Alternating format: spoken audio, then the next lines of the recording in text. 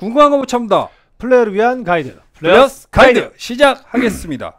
뛰어난 연주감과 범용성, 어떠한 장르의 음악에서도 최고의 사운드를 선사하는 Fender American Ultra 시리즈는 S1 스위치와 treble bleed 회로 Ultra Noiseless 픽업을 장착하고 Fender가 앞으로 나아갈 길을 제시하였습니다. 음. 여기에 roasted maple neck이나 ebony 지판, Fender에서 가장 인기가 많은 클래식 컬러 옵션을 선택하여 제작되는 limited edition 모델은 많은 연주자들에게 극찬을 받고 음. 있습니다.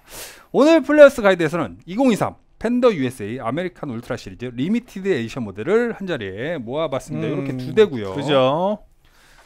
은총 씨가 들고 있는 모델이 limited edition American Ultra Stratocaster. 저도 역시 Fender USA에서 제작되는 limited edition American Ultra Stratocaster 모델인데요. 은총 씨가 들고 있는 모델은 roasted maple neck이 그죠. 채용이 되어 있고 제가 들고 있는 모델은 에보니 지판 네. 그리고 색깔이 버블검 메탈릭 컬러입니다. 아, 사운드를 좋습니다. 먼저 들어보고요. 팬더고요.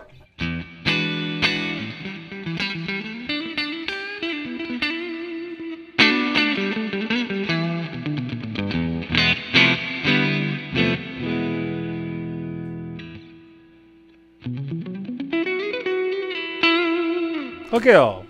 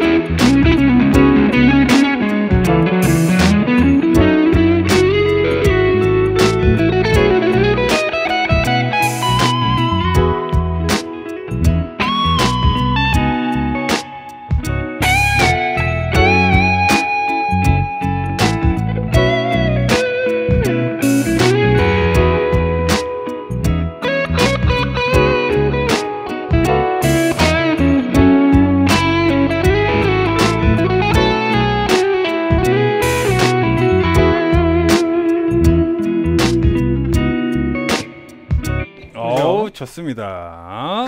이 크리미하고. 다음 우리 건우 씨랑 굉장히 잘 어울리는 네.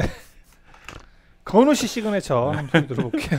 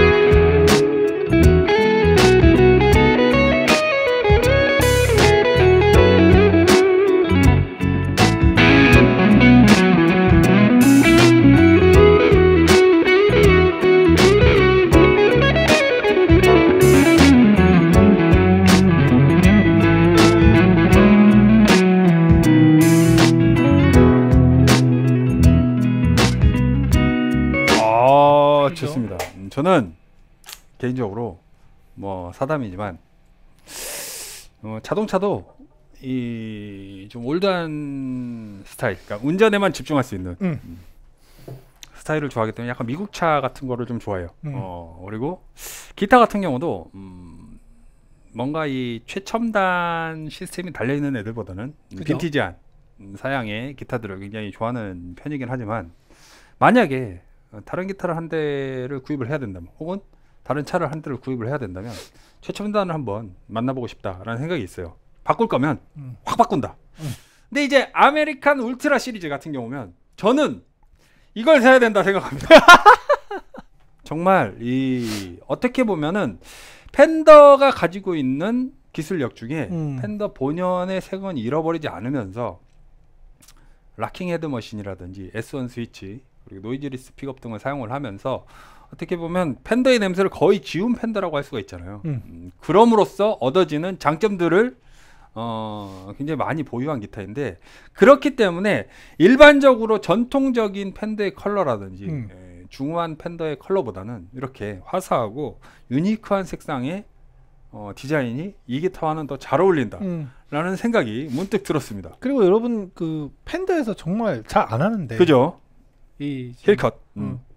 깎아놨죠. 음. 이게 이제 우리가 스트라토캐스터를 치면서 좀 불편함을 느꼈던 음. 거. 근데 사실 이게 요즘 현대적인 기타에는 다 나오는 그죠. 건데 음. 그 제가 이제 풀가든 기타미든 이제 이 방송 진행하면서 늘 말씀드렸던 것 중에 네. 좀 최근에 좀 주장하고 음, 있는 것 중에 음, 음. 뇌피셜이 지금 주장하는 게 뭔지 알겠어요. 음. 팬더가 이제 더 이상 그 음. 시장까지도 이제 가만두지 음, 음, 않겠다. 음, 음. 원래 Strat은 내가 기원이면 음. 내가 시작이고 음.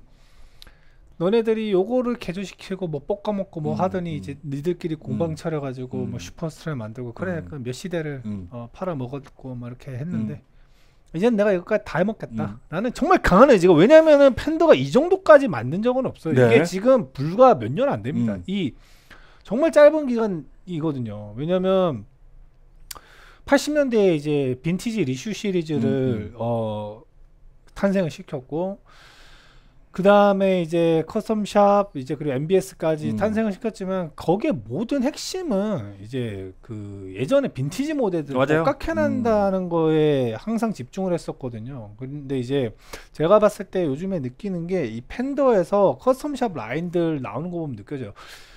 뭐 물론 저희가 오더를 안 했을 수도 있고 음. 뭐 그냥 제 눈에 보이는 대로만 말씀드리면 예전에는 뭐 Fender에서 custom shop 치면 뭐 Closet Classic 뭐 NOS 뭐 그냥 Relic 타임머신. 그리고 뭐 음, 타임머신 그리고 뭐 그랬다 있다가 이제 heavy relic 음. 이렇게 뭐 정말 세분화가 됐었는데 요즘은 custom shop이 거의 다 heavy relic이에요 네. 그죠? 그러니까 지금 제가 봤을 때는 이제 custom shop 라인에서 이제 빈티지 쪽으로 좀 집중을 음, 하는 것 음. 같고요. 양산형 모델에서는 훨씬 더 좀 다양한 모델들을 찾고 있다. 예, 음, 음. 좀 하는 것 같고 그리고 그 이거 정말 제 뇌피셜이에요. 음, 그냥 음, 뭐, 음. 뭐 검증되지도 아, 않는 거 아. 계속 말씀드리는 건데 팬더가 확실히 시장을 좀 독점하려는 이 음. 스트레스 시장을 독점하려는 게 좀 보여요. 그래서 다른 회사들이 다른 공방 기타 그 여기도 음. 못하게 음. 그냥 우리가 짱이야. 음. 너네들이 이제 만들던 거 우리 다 우리가 뭐 기술이 없어서 안 음, 만들었냐? 우리가 그냥 안한 음. 것뿐이다. 그래서 그리고 이렇게 또 생산을 하면서 어, 어떠한 또 새로운 히트 그 라인을 또 만들고 싶어 하지 않나. 왜냐하면 이게 Fender가 약간 조심스러웠으면서도 그 나중에 후세 이제 후세 후세라는 말도 웃긴데 나중에 와 이게 명기였다라고 인정받았던 기타 중에 하나가 예전에 Fender에서 Deluxe 라인을. 만들었었죠. 그때 모든 Fender 팬들이 음, 이런 음. 이건 Fender가 아니다. 음, 말 같지도 않은 Fender로. 그러니까 Fender에서 처음으로 어떻게 보면 그 시대만 현대적인 그렇죠. 혁신적인 기타를 어, 내놨던 거죠. 근데 지금 그 기타를 다시 구하려면 음, 구하기 힘들잖아요. 음. 심지어 우- 베이스 연주자분들은 아시겠지만 Deluxe Jazz Bass 5현 같은 경우는 또 음, 웃돈 음. 올려서 거래가 됐었잖아요. 그리고 그게 head machine이 여기 일자로 다 달려 있느냐 아니면 음. 네개 하나 음, 이거에 음, 따라서도 가격이 음. 달라졌던 걸로 아는데 그러니까 이게 나중에는 결국 재평가가 된단 말이에요. 근데 이제 팬더가 이제는 그때는 욕을 먹어 아 역시 빈티지 음, 음. 집중해야 되나 했지만 이제는 그런 거 아예 음. 없다. 우리가 다 안다. 약간 이런 거 같은데 어 어쨌든 뭐 너무 사담으로 갔는데 이 두 기타를 저는 뭐 벌써 지금 몇 번째 연주하고 있지만 음. 정말 잘 만들었어요. 음. 정말 잘 만들었고 연주감도 좋고 뭐 아까 현편님 말씀처럼 뭐 멀리서 찾을 필요 없이 그냥. 음. 이그뭐 복잡하고 뭐 약간 그런 거 있잖아요.